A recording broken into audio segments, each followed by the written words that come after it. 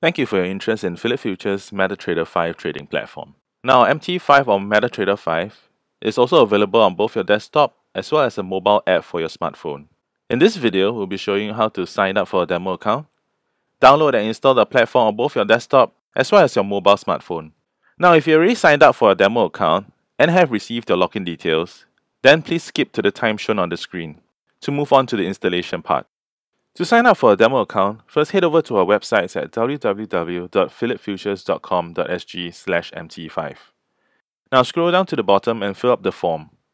Please use a valid email address as your login ID will be sent to you via email. Also take note of the password that you key in here as it will be used for your MT5 platform. Now once done, click on submit. An email will be sent to you in a few minutes. Within the email, you'll find your login ID as well as the password that you've chosen earlier. Links to how to download the platform will also be present in email.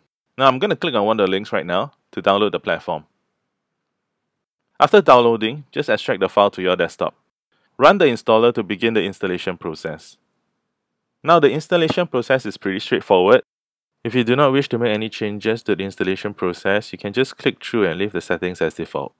Once done, click on Finish and the platform will launch automatically. Upon first launch, you'll be prompted to open an account. Click on Cancel for now. You will want to sign in with the login ID that you created earlier. Now I'm just going to go over to my email and take a look at my login again. To log into the platform, click on File, select Login to Trade Account, and log in with the details sent to you via email. Once logged in, you'll hear a sound as well as see that icon at the bottom start to move. And you'll see that your charts are appearing. You have now successfully installed your desktop platform and logged in. In the next part, we'll show you how to install the mobile smartphone app. The example here shown is an Android device, though a smartphone using an iOS device will also be pretty similar. Head down to the Play Store and search for MetaTrader 5.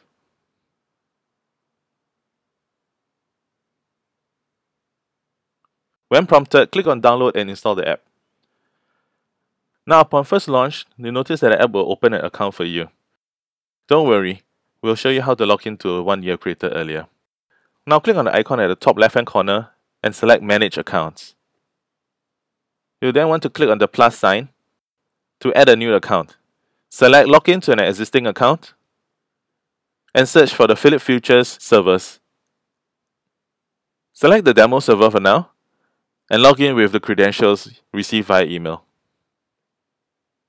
You may choose to save your password at this point. Once done, click on Sign In. Now upon signing in, just click on the Charts or the Price tab to see that the prices are live.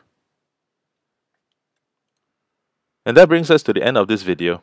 In the next series of videos, we'll show you how to open a trade, add in indicators and analysis to your charts, as well as run the Expert Advisor wizard.